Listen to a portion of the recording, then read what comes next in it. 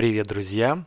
В этом выпуске я покажу вам новые 20 и 200 гривен, расскажу про новогодний конкурс и покажу, какие картины покупает фартовый коллекционер себе в коллекцию. Ну что, поехали!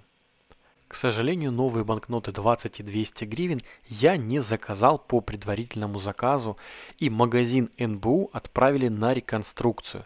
Так что пока купить там монеты и банкноты не получится. Ну, я рассказал об этой ситуации в прошлом видео.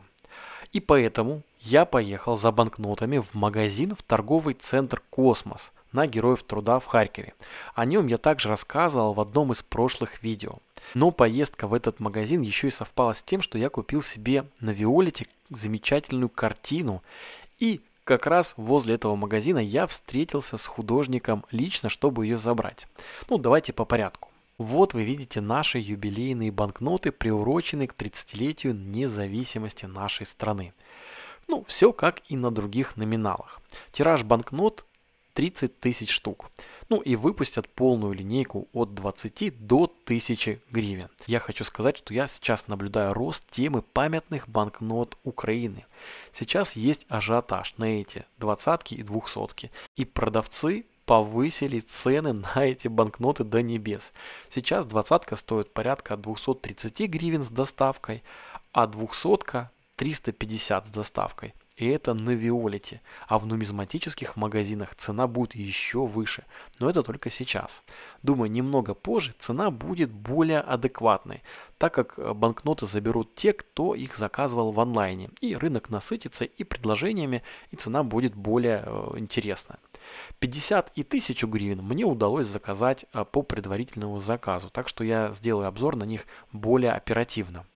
После похода в магазин я встретился с художником-графиком. Как раз именно его работу я купил себе на Виолете. Покупал я в разделе «Живопись и графика». Ссылку на этот раздел я оставлю в описании, чтобы вы поняли формат цен вообще на эти работы. Это художник, его зовут Евгений Ник Лаки. Работает в таких жанрах, как анимализм, ню, городской пейзаж предпочитает уголь и цветные карандаши. Он пишет на дизайнерском цветном картоне Фабриано. Анималистика, это вы видите сейчас перед своими глазами, это просто что-то невероятное, неподдельные эмоции животных. Но пока для начала я к себе в коллекцию выбрал картины Ню.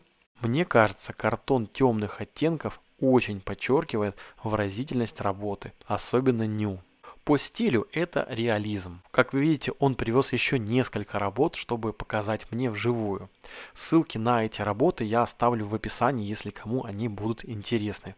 Как э, подарок, например, на Новый год.